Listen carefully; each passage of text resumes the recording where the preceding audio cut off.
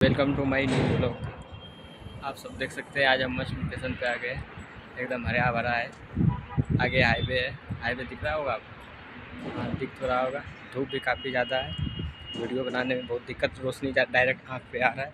इधर आपको दिखाते हैं, एकदम पहाड़ ही पहाड़ है। आपको एक नेक्स्ट वीडियो में बताएँ कि हम लोग पहाड़ी लोग हैं, पहाड़ के साइड ही रहते हैं। तो देख सकते हैं आप लोग। और आज हम लोग बहुत दूर आ गए हैं मतलब तीस चालीस किलोमीटर से भी ज़्यादा दूर। और ये देखिए, नीचे एक कंपनी दिख रहा है तो जो बहुत दिन से बंद पड़ा है। दिख रहा है? आप लोग जल्दी से एक हज़ार सब्सक्राइबर कीजिए, इसके बाद मस्त वीडियो बनाएँगे। देखने लायक रहेगा। क्योंकि अभी दिख नहीं रहा है, रोशनी मतलब कैमरा नहीं है फ़ोन से बनाते हैं, ना तो माइक है मेरे पास। जैसा है, वैसा हम बना के दे रहे हैं आप लोग को। दिखा रहे हैं, दे नहीं रहे। और आप लोग ये साइड देख सकते हैं, पीछे ये बिल्डिंग बंद पड़ा हुआ है, दस बारह बिल्डिंग है कम से कम। दिख रहा है आपको?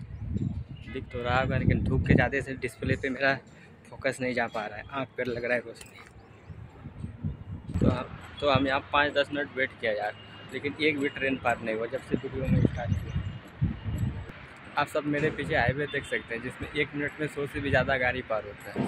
सौ से भी ज़्यादा दिख रहा होगा आपको। हमको तो बिल्कुल नहीं दिख रहा है आगे, क्योंकि सूर्य मेरे सर सर के ऊपर है।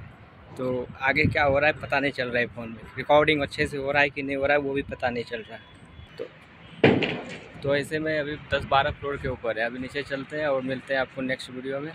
आप लोग लाइक कर दीजिएगा।